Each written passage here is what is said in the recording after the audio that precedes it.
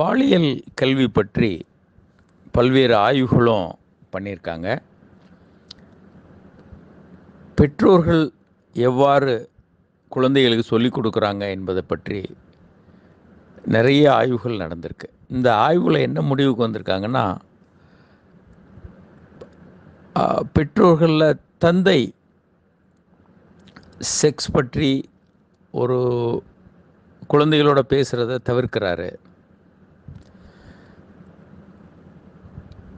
தந்தை பெட் குழந்தைகளோட பேசும்போது ஒரு இன்டிமேட் உறவு பற்றி நெருக்கம் பற்றி எதுவும் பேசுகிறதில்ல தாய் பேசும்போது உறவு நெருக்கம் அந்த காதல் போன்ற விஷயங்களை மன ரீதியான பிரச்சனைகளை பேசுகிறாங்க தாய் பெரும்பாலும் பெண் குழந்தைகளோட பேசுகிறாங்க ஆண் குழந்தைகளை தவிர்த்து பெண் குழந்தைகளோட பேசுகிறாங்க பெரும்பாலான பெற்றோர்கள் ஆண் குழந்தைகளை டார்க்கில் விட்டுறாங்க. அவங்களுக்கு எதையும் சொல்லித்தரதில்ல அதே மாதிரி பெண்களுக்கான பிரச்சனைகளை பற்றியும் அவர்கள் பேசுகிறதில்ல தீட்டு வருவது போன்ற விஷயங்கள் எதுவுமே ஆண்கள்கிட்ட பேசுகிறதில்ல பெற்றோர்கள் என்ன நினைக்கிறாங்கன்னா ஸ்கூல் சிஸ்டமில் பள்ளிக்கூடங்களில் இதை பற்றி கொஞ்சம் சொல்லிக் கொடுப்பாங்க. விஞ்ஞானபூர்வமாக குழந்தைகள் கொஞ்சம் தெரிஞ்சுக்குவாங்க தேவையானதை அப்படின்னு நம்புகிறாங்க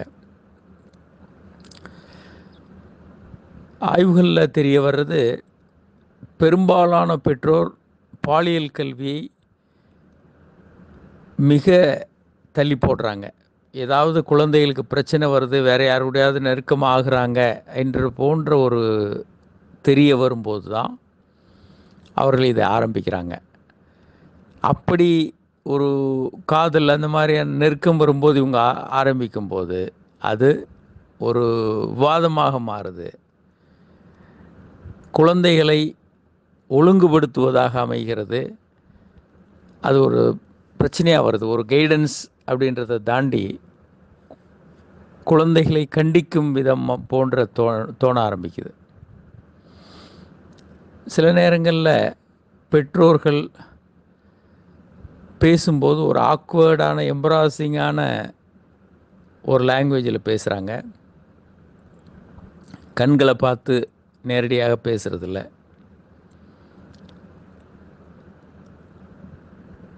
இது அதே போல் ப சுய இன்பம் ஹோமோசெக்ஷுவாலிட்டி உச்சகட்டம் போன்ற விஷயங்களை பற்றி பேசுகிறதுல அவங்களுக்கு தயக்கம் அதிகமாக இருக்குது குழந்தைகள் எப்படி இதை எடுத்துக்கொள்கிறார்கள் என்ற ஆய்வும் நடந்திருக்கு. குழந்தைகள் பேரண்ட்ஸ் பேசும்போது எப்படி எடுத்துக்கிறாங்க? வயதான குழந்தைகள் ஓரளவுக்கு டீனேஜ் லேட் டீனேஜ்லலாம் இதை கேட்பதற்கு விரும்புகிறதில்ல ரொம்ப ஆரம்பத்திலேருந்து ஆரம்பிச்சிருந்தாங்கன்னா பிரச்சனை இல்லை. ஆனால் டீனேஜ் ஆன பிறகு லேட்டாக லேட் டீனேஜில் இதை பேசும்போது குழந்தைகளும் இதை தவிர்க்க விரும்புகிறாங்க அந்த நேரத்தில் பெற்றோர்களால் எதையும் சொல்ல முடியாது. சொல்லி குழந்தைகளுக்கு புரி புரிய வைக்க முடியாது. பல விஷயங்களை குழந்தைகள் தவிர்க்கிறாங்க. பேரண்ட்ஸ் ரொம்ப வயதான பிறகு லேட் டீனேஜில் குழந்தைகளுக்கு சொல்ல வரும்போது குழந்தைகள் இதை தவிர்க்கிறார்கள். அவர்களுக்கும் இது ஒரு ஆக்வர்டான எம்பராசிங் சுச்சுவேஷனாக இருக்குது பேரண்ட்ஸுக்கிட்ட இதை பற்றி இது வரைக்கும் பேசாமல் இருந்துட்டு இப்போ பேசுவது என்பது சிக்கலாக மாறுது. எப்படி ஒரு சக்ஸஸ்ஃபுல்லான ஒரு செக்ஸ் எஜுகேஷனை பெற்றோர்கள் கொடுக்க முடியும்? சில முக்கியமான பண்புகள் ரெண்டு பேருக்கும் வேணும். ஒன்று பெற்றோர்கள் நல்ல கேட்பவர்களாக இருக்கணும். லிசனர்ஸாக இருக்கணும். காது கொடுத்து முழுமையாக கேட்கணும். ஒரு உண்மையான மனம் திறந்த பதில்களை குழந்தைகளுக்கு சொல்லணும். குழந்தைகள் அவர்களுடைய ஒப்பீனியன் அதை சொல்லுவதற்கும் எந்த பயம் இல்லாமல் சொல்வதற்கும் ஒரு வாய்ப்பு கொடுக்கணும். ஏதாவது குழந்த சொன்னால் திட்டுவோம் அல்லது தண்டனை கொடுப்போம்னு பயம் இருந்தால் எந்த குழந்தையும் உண்மையை பேச மாட்டாங்க. அதே போல்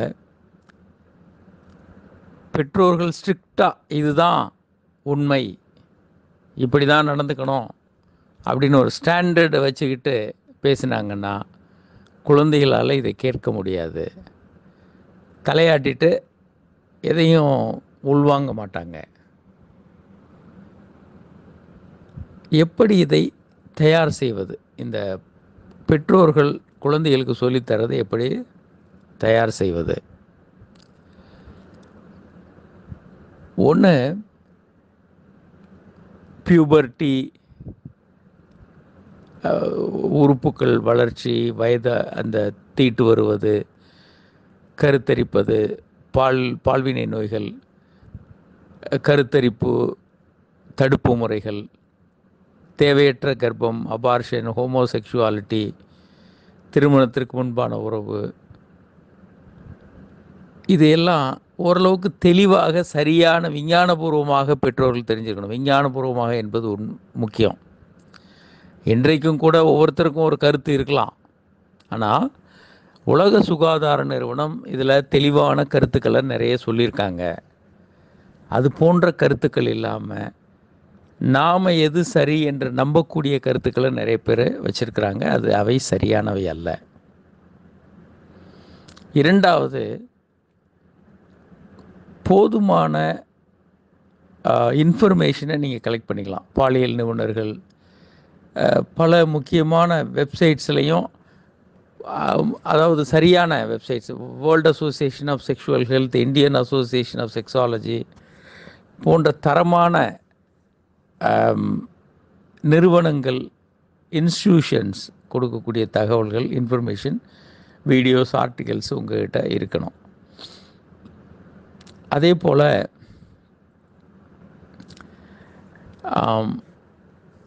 பல்வேறு தவறான நம்பிக்கைகள் மீதான விவாதமாக அது போகக்கூடாது.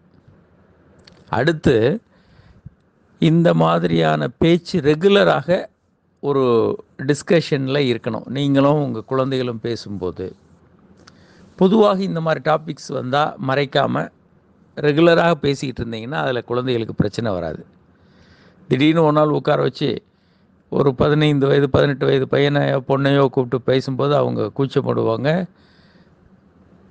ரெண்டாவது ஒரே நாள் உட்காந்து ஒரு முழுமையான லெக்சர் கொடுக்கறதுக்கு பதிலாக சின்ன சின்ன டாப்பிக்கில் அப்பப்போ தேவைப்படும் போது இல்லை ஒரு வாதம் வரும்போது அதை பற்றி பேசலாம். இப்போ நிர்பயா கேசஸ் வந்துக்கிட்டு இருக்கு கோர்ட்டில் வந்துட்டுருக்கு தண்டனை கொடுக்குறாங்க. அப்புறம் அது அப்பீல் போகுது. இந்த மாதிரி நேரங்களில் பல்வேறு விஷயங்களை நம்ம சொல்ல முடியும்.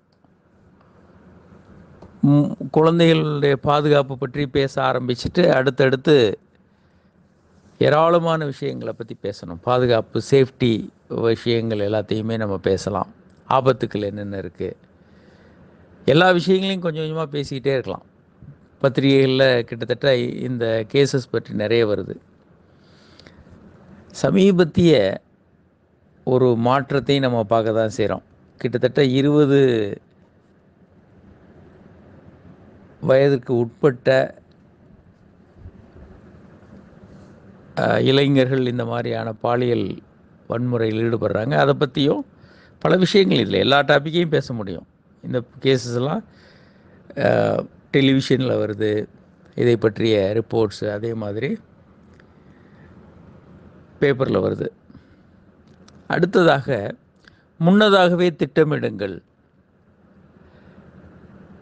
நீங்கள் குழந்தைகள்கிட்ட பேச போகிறீங்க அப்படின்னா ஓரளவுக்கு இதை பற்றி முன்னதாகவே திட்டமிட்டு தெளிவாக விஷயங்களை சேகரித்து வச்சுக்கோங்க.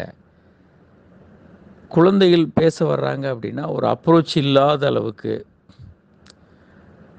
அவங்க ப நெருக்கம் இல்லாமல் இருக்காதீங்க. தெளிவாக இருங்க. அடுத்து முக்கியமான விஷயம் ஒரு நட்பு ரீதியான இரண்டு வழி பாதையாக அந்த பேச்சு இருக்கணும். நீங்கள் மட்டுமே லெக்சர் கொடுக்குற மாதிரி இருக்கக்கூடாது.